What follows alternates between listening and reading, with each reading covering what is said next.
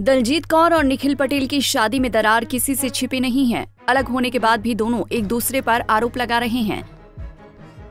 जहाँ एक तरफ़ दलजीत का कहना है कि निखिल बेवफा निकले तो वहीं उनके दूसरे पति अपनी शादी को मानने के लिए तैयार नहीं। वहीं अब दलजीत ने इंस्टाग्राम लाइव पर फैंस के सवालों के जवाब दिए और निखिल पटेल की र्यूमर्ड गर्लफ्रेंड सफीना पर भड़ास निकाली। दलजीत ने बताया कि सफीना पहले से शादीशुदा और दो बच्चों की माँ हैं। एक फ़ैन के सवाल पर दलजीत कौर ने कहा, मेरे मन में दो सवाल हैं। पहला, अगर वो आज जो कुछ भी कर रहा है, उसमें वो पहले से ही खुश था तो उसने मुझसे शादी क्यों की? शायद तब उन्हें इस तरह की पब्लिसिटी नहीं मिली थी। दूसरा, जो लोग बोलते हैं कि एक लड़की ही लड़की की ज़िंदगी बर्बाद करती है, सही बोलते हैं। जब पति पत्नी के बीच कोई समस्या चल रही हो, तब वो, वैसे भी एक दूसरे के बारे में कुछ अच्छा नहीं कहेंगे। ऐसे में किसी तीसरे इंसान को वो जगह नहीं भरनी चाहिए। ये नैतिक रूप से गलत है।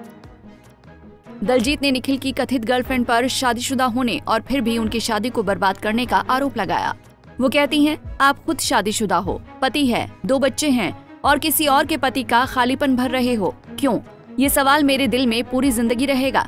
मुझे नहीं लगता कि वो जो कर रही है, उसे करने की ज़रूरत है। क्या पता? होगा उनका कोई कारण शायद। वहीं जब एक यूज़र ने दलजीत से पूछा कि क्या उन्होंने सफीना नज़र से बात की तो इसके जवाब में दलजीत ने कहा, नहीं मैंने उनसे बात नहीं की। क्या बात करूँ उससे? वो कोई 12-15 साल की बच्ची थोड़ी है। 30 साल की है और दो बच्चों की माँ है। क्या पता शायद उनके वेस्टर्न कल्चर में ये सब एक्सेप्टेड होगा। मुझे नहीं पता। ये बहुत दुख की बात है। अब मैं नहीं रोऊँगी। बता दें कि हाल ही में दलजीत कौर के एक करीबी सूत्र ने बताया था कि उन्होंने निखिल को उनके घर के लिए सोफा कवर बनाने को अपनी शादी की साड़ी दी थी। सूत्र ने दावा किया कि जैसे ही दलजीत ने साड़ी सौंपी, निखिल ने कुछ ही समय में उससे सोफा कवर बना दिया।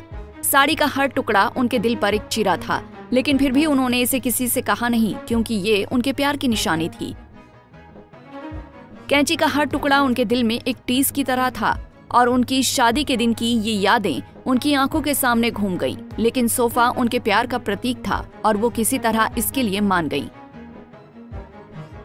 जैसे ही दलजीत और निखिल अलग हुए निखिल ने वो सोफा कवर फाड़ दिया और साड़ी के टुकड़े टुकड़े कर दिए अब दलजीत ने निखिल से उन्हें सोफा भेजने के लिए कहा तो उन्होंने साड़ी के कटे हुए टुकड़े उन्हें लौटा दिए। बता दें, निखिल ये साबित करने में लगे हैं कि उनकी और दलजीत की शादी हुई ही नहीं थी।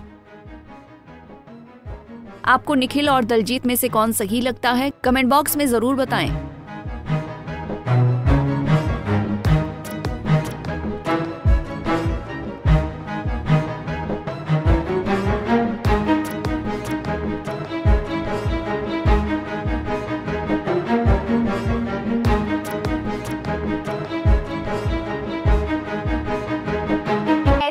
और वीडियोस के लिए आप नारी के पेज को यूट्यूब पर सब्सक्राइब फेसबुक पर लाइक और इंस्टा पर फॉलो करना ना भूलें।